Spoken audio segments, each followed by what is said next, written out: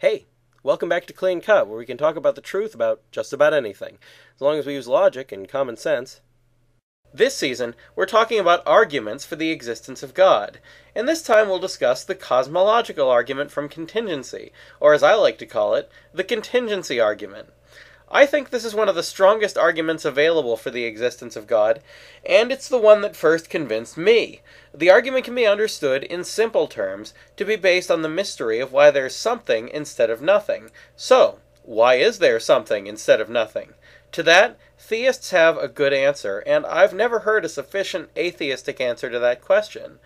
Still, a question isn't an argument, so now it's time to set an actual argument forth.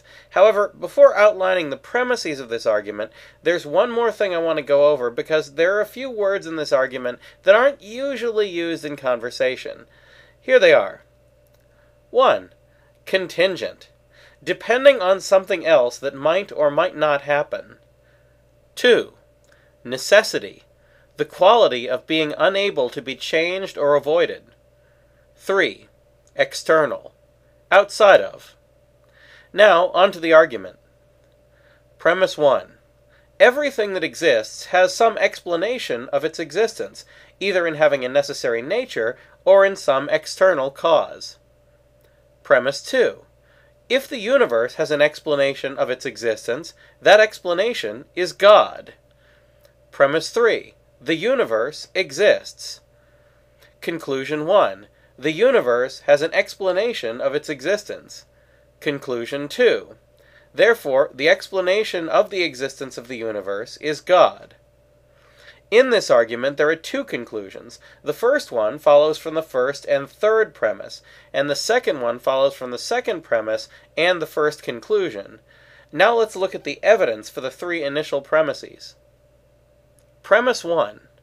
This premise implies that there are only two possible kinds of explanations for the existence of anything.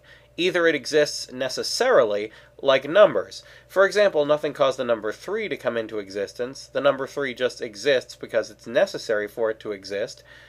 Or else it was caused by something, like an ear of corn being caused by the cornstalk that it grows out of.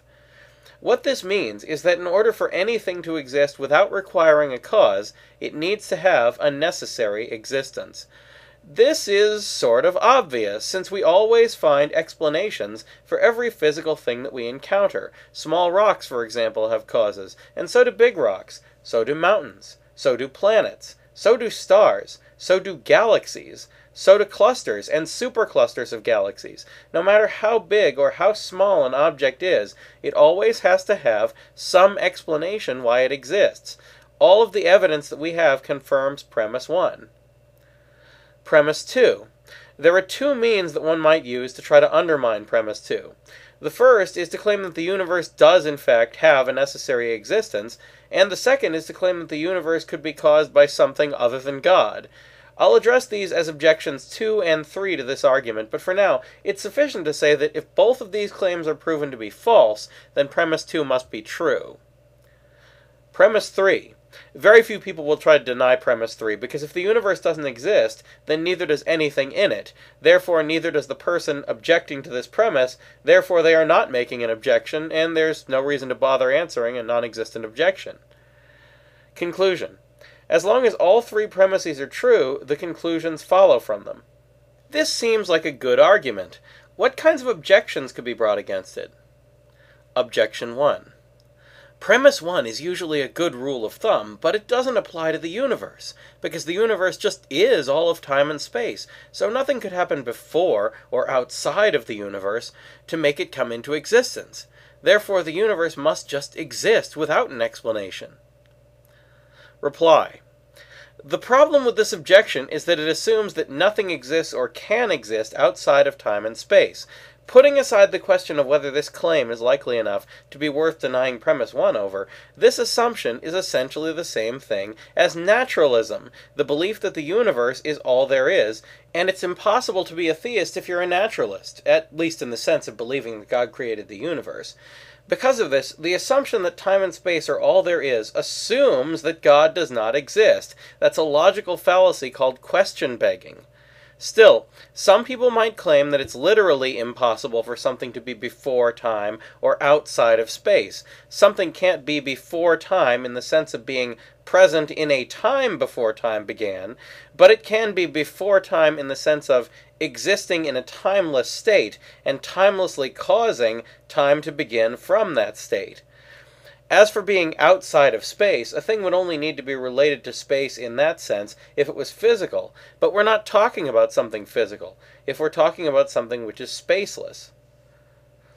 Objection 2. Premise 2 is weak, because for all we know, the existence of the universe could be necessary. Reply. The problem with this claim is that if the universe were necessary, a few things would follow from that which nobody wants to admit. To start with, it would mean that every atom, every particle, every quark in the universe would just exist because it can't be otherwise. That also means that there would be no such thing as free will, since if we can make free choices, we can freely change certain combinations of atoms in a way that we didn't need to, like picking up a book. Therefore, even if this claim were true, whether or not we believe it isn't up to us. We believe or disbelieve it because we can't believe otherwise, so there's no good reason to believe it. However, there's also something else that would suffer horribly in a necessary universe science. If the universe is necessary, then things only happen because they can't happen otherwise. However, science involves finding the reasons and causes of things through measurement and experimentation. And in a necessary universe, there just aren't any reasons to find out. Things happen the way they do because they can't happen otherwise, and there's no good reason for pursuing the question any further than that. In fact, in a necessary universe, there's no good reason to do anything, since the only reason why people make the choices they do is because they can't do otherwise. So, really, the whole process of learning and making choices is utterly meaningless. We don't really make choices, we just think we do. This is why almost everyone who studies this topic agrees that the universe is not necessary. Objection 3.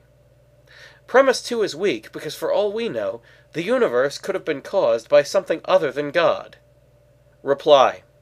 This objection can be answered by thinking about what would be required in order for something to cause the universe. To start with, since the universe contains all of time and space, the cause of the universe would need to be timeless and spaceless.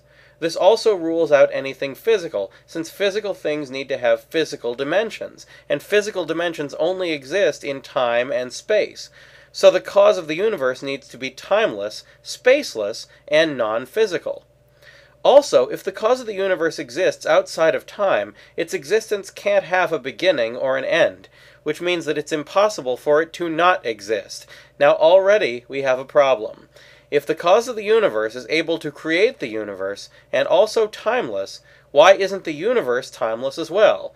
After all, if the first cause is sufficient to create the universe, and is timelessly sufficient to create the universe, it should have always created the universe, and therefore the universe would have always existed, and would be timeless too.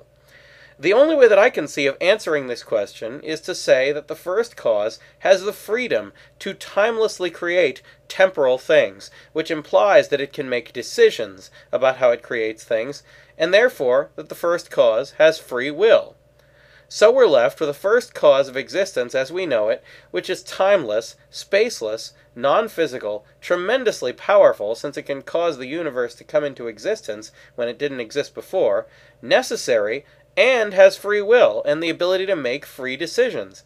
You can figure out a great deal more about the first cause in other ways, but this is already enough to deduce that the first cause is what we would call God. Objection 4. Just because atheists don't have an alternative explanation of the universe yet doesn't mean they won't someday. Science is always progressing. Reply.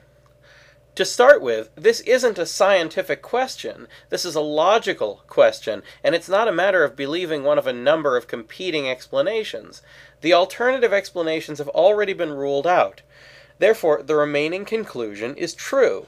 Besides, even if you assume that some future atheist philosopher might find a hole in this argument, that's still admitting that the evidence currently points to this argument being true. Therefore, we should currently agree with it. Objection 5. Premise 1 commits the fallacy of composition by assuming that the universe must have an explanation just because everything in the universe has an explanation. Reply. The fallacy of composition is only when you assume that because every part of something has a certain property, the whole thing must also have that property. For example, just because every tiny atom in the world is small, it doesn't follow that the world itself is small. However, premise 1 isn't like that. The conclusion that everything has an explanation of its existence is a logical principle, which all available evidence confirms, and no evidence contradicts. Therefore, we have a good reason to believe it, and the fallacy of composition isn't involved in that reasoning. So it follows that God is the explanation of the existence of the universe, which is one of the strongest reasons to believe that God exists. Next time, can morals teach us anything about God? That's all for now, so keep asking questions, and thanks for watching.